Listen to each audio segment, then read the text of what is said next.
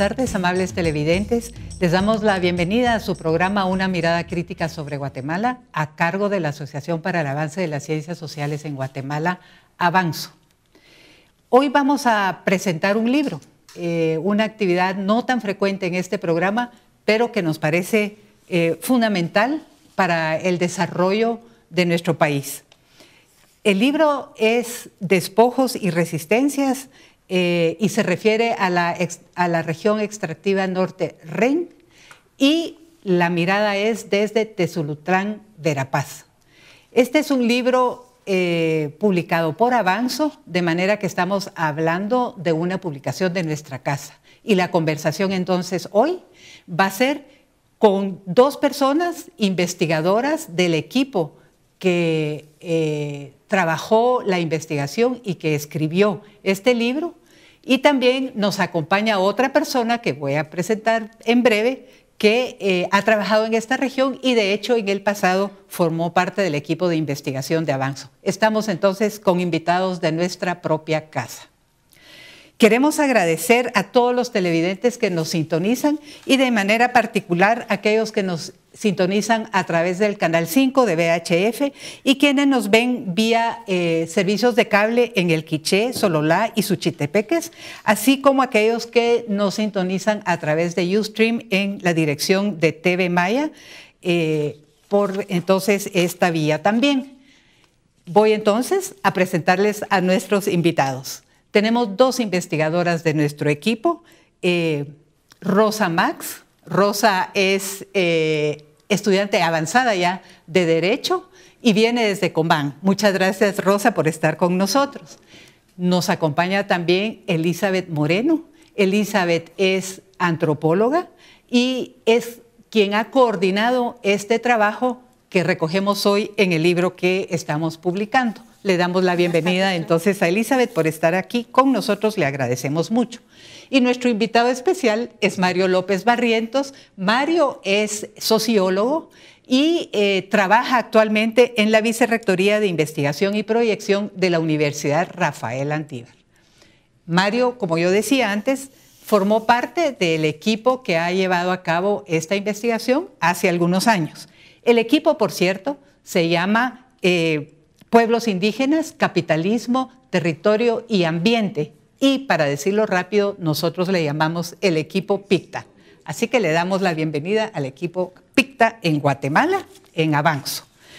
Bueno, ya hemos presentado a las personas que nos van a ayudar a entender este libro.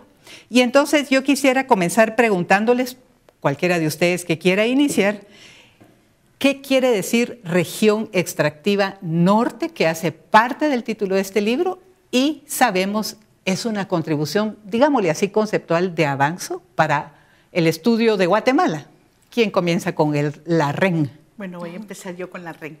Como decía Clara, el concepto de región extractiva es un aporte de avanzo que enriquece la propuesta también del equipo de campesinado sobre regiones agrarias y surge de el interés de analizar cómo el capitalismo extractivo se está implementando o se ha implementado en el tiempo en nuestro país y cómo comprenderlo en distintos territorios.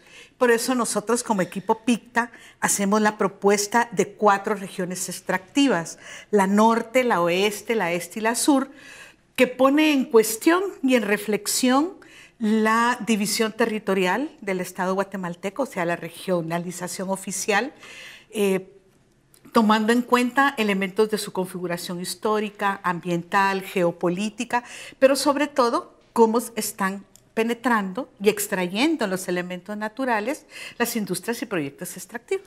Por eso entonces se propone una región extractiva, el concepto de región extractiva. Muy bien, hay otro, vamos a ir profundizando en siguientes segmentos alrededor de estos asuntos, pero para comenzar a introducir a nuestros televidentes y nuestras televidentes en estos asuntos. Mario, también se habla de industrias y proyectos extractivos. ¿Qué, qué queremos decir con eso? Mira, básicamente es pues todos aquellos emprendimientos, todas aquellas empresas, digamos que están basadas en, eh, en, actividades extractivas, tales como la minería, tales como las hidroeléctricas, eh, tales incluso como los agronegocios, ¿verdad? Ese es uno de los, de los aportes que tiene el libro, que abre el concepto de extractivismo no solamente a, actividades, digamos, de extracción minera, ¿verdad? Sino que es más amplio, como se, dice, va de amplio eh, espectro, digamos. Entonces, incluso puede ser la extracción de conocimientos pues, ancestrales, ¿verdad? el, el despojo de formas de organización, ¿verdad? El despojo de, pues, de, la espiritualidad, ¿verdad? Entonces, pero aquí en concreto se refiere a emprendimientos o empresas que tienen que ver con actividades extractivas y que están operando pues, en este nuevo ciclo de despojo a nivel mundial. Muy bien, vamos a regresar a la idea de ciclos de despojo y también a algunas otras ideas que ya van apareciendo en nuestra conversación, pero no quisiera yo eh, seguir adelante sin pedirle a Rosa que nos hable un poco de Tezulutlán. Este título del libro lleva la palabra Tezulutlán Verapaz. ¿Qué quiere decir esto? Sí, en la construcción del proceso que vivimos como equipo, con líderes, lideresas, organizaciones, todas las comunidades, se identificó un territorio que desde la colonia se denominaba eh, tierra de guerra, pero el pueblo quechí, achí, pocomchí se reivindica y ahora se denomina tierra de resistencia ante todos estos proyectos extractivos que están en la región extractiva norte. Entonces, el término Tezulutlán es una reivindicación. Sí, así lo debemos una reivindicación. Y como aporte del equipo de Avanzo, decimos Tezulutlán Verapaz. Cuando decimos Tezulutlán Verapaz, ¿nos referimos a un territorio que está solo en Alta Verapaz o nos referimos a algo más amplio? Es algo más amplio, es una identidad desde los pueblos Quechí, Pocomchí y Achí porque somos pueblos que estamos en, resistencia ante los ciclos de despojo que más adelante se abordará desde la propuesta del equipo de Avanzo. Claro, pero también es un territorio, o sea, es el, territorio identidad, el territorio cuerpo del que está hablando Rosita, pero también es un territorio tierra, es un, un territorio que trasciende los límites municipales o departamentales. Podríamos decir que es ese territorio histórico territorio cuerpo, territorio identidad, espiritualidad, como decía Mario, que han habitado y que identifican como suyo los pueblos Cachí, Pocomchí y Achí. Entonces, el territorio de Tezulutlán, Verapaz, es parte de la región. O sea, la región extractiva norte contiene a Tezulutlán, pero Tezulutlán también contiene a la región extractiva norte. Eso eh, a mí me parece sumamente interesante lo que, lo que nos dicen porque eh, primero estamos rompiendo con la idea de que el país ya está dividido como, como va a estar dividido para siempre. Y como decía al, principio Elisa, pone en cuestión la división político-administrativa eh, tradicional, digamos, y trae elementos nuevos de identidad. ¿Tú dirías que por ahí va algo de este aporte? Yo pienso que sí, digamos, es un lugar de enunciación, es un lugar de conocimiento, y es un lugar de, posicionamiento político, ¿verdad?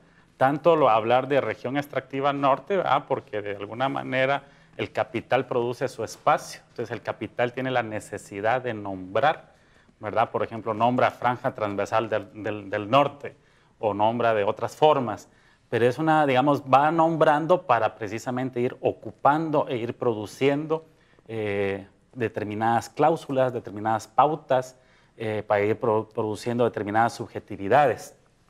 Y entonces, desde las luchas de los pueblos, desde las luchas de las comunidades, dice, sí, esto es así, pero también nosotros somos Tezulutlán, somos tierra de resistencias, ¿verdad? Eh, y entonces ellos vuelven a ver el gran territorio de su memoria, ¿verdad? En ese gran periodo o, digamos, en los distintos ciclos, ¿verdad? Pero sí, es un concepto efectivamente epistemológico, como te digo yo, porque hay conocimiento, o sea, es una forma de conocer, es un concepto eh, pues político, ¿verdad? También. Muy bien, muchas gracias. Eh, en, este, en este segmento hemos visto entonces cómo, el solo estamos hablando del título de este libro, eh, y vemos elementos de resistencia epistemológicos críticos Vamos a dejar ahí eh, este segmento y en breve eh, regresamos para continuar hablando sobre esta nueva publicación de Avanzo.